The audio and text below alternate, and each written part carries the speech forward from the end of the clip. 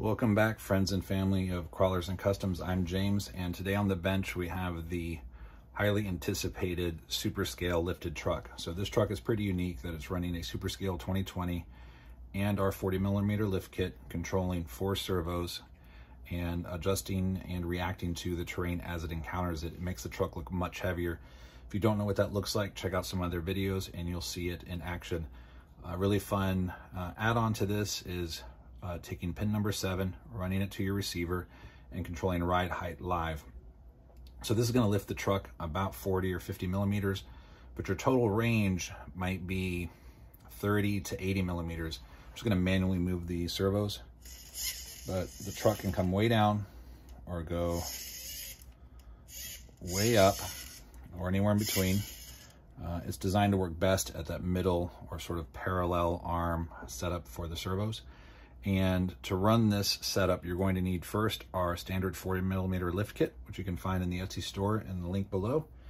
Um, if your kit has a front servo bracket that looks like this but does not have these holes in it, please shoot me a message before you buy the kit.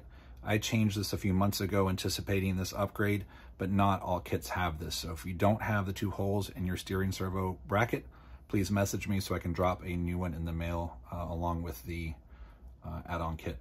So let's go over what you're going to need to do. You need to buy four 35 kilogram servos. You need to buy a super scale. You need to buy a Castle BEC. And you may also want to buy these offset arms. We're going to go over that in just a minute.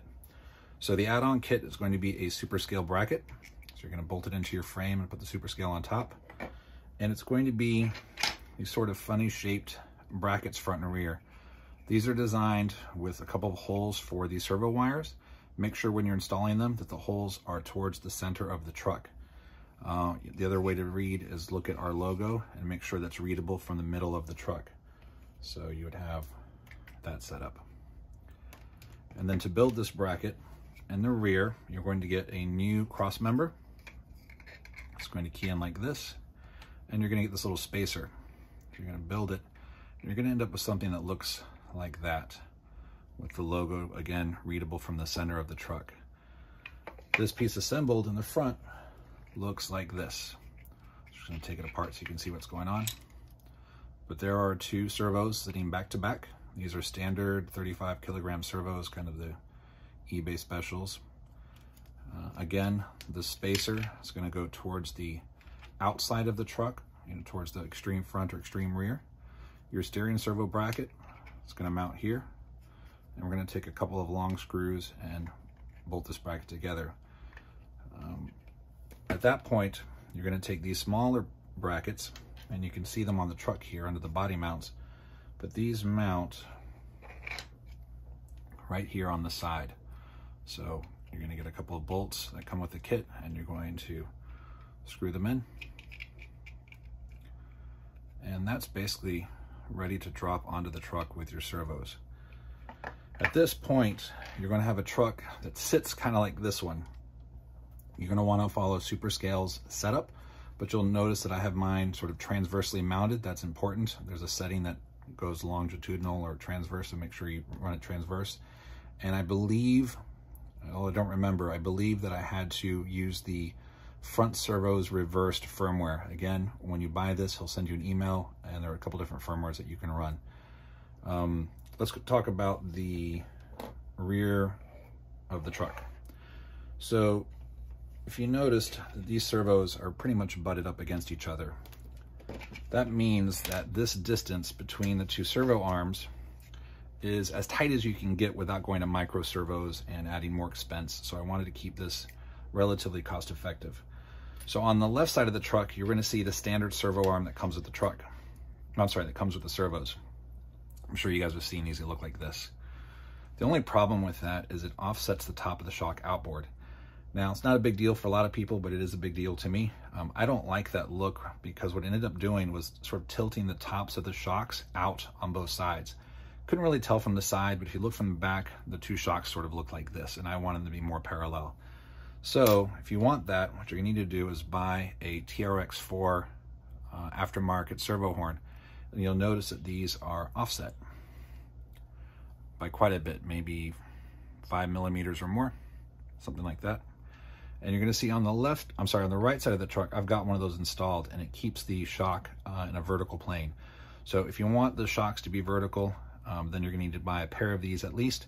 You can also run it up front and end up putting more M3 nuts behind your shocks to bring them out to parallel because again, it'll drive them inboard. With the stock servo arms, they're actually parallel. So if you were to buy four of these, you end up offsetting the shocks and now the tops would sort of be tilted in. So it's up to you. Um, I left it in uh, sort of halfway done so you could see the difference. Uh, it's minor, but again, um, I'm sort of a perfectionist when it comes to the look of the truck and I just didn't like the way the shocks sat. So I'm going to finish this truck by installing uh, the rest of these offset servo horns to drive the uh, King shocks back in. Also, you cannot run your stock shocks with this setup. It is designed to run longer than stock by pretty good margin. So I'm going to tilt the truck over so we can take a look. But if you'll notice, we've got our 40 millimeter lift kit and our stock shocks would normally mount to the frame that is um, 40 millimeters below where they would normally sit. You can see that the stock shock hoop, shock hoop is completely gone. So in this case, you're gonna wanna run shocks that are maybe 110, 120, 130 millimeters long. These happen to be 120 millimeter king shocks, um, but you can mix and match and sort of customize depending on how high you want your truck to sit. Now it's important to consider that if you were to put really long shocks on this and you have adjustable suspension, you'll see how extreme these, these drive line angles can be. So um, I've designed it to sit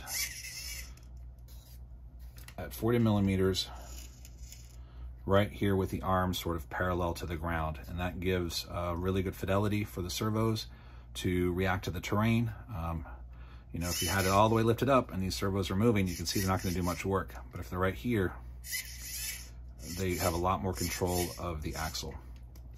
Uh, these are some custom uh, H-Tech wheels. I'll put a link in the description. Also, if you guys dig those, he's really responsive to requests and I wanted some blue uh, rims on black to match the blue F450 body.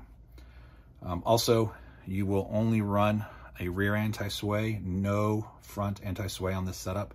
Doesn't work that well with the Super Scale. Um, so that's about it. Um, this truck is running 1.9s on some uh, Super Swamper um, TSL tires or scale tires. You can see there's good clearance between the inside of the tire and the sway bar.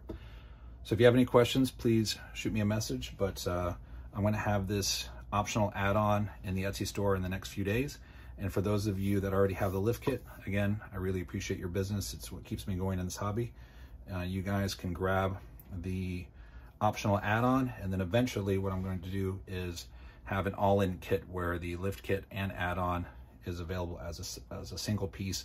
But right now, to give everybody uh, who's already bought my kit uh, first dibs, it will only be an optional add-on. So again, this is only going to work if you have our 40 millimeter lift kit already and then buy these separately.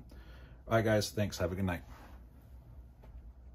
Lastly, um, you will be trimming your body posts front and rear. You can see this is quite a bit shorter than the stock post. Uh, and you can see how the pins are located there.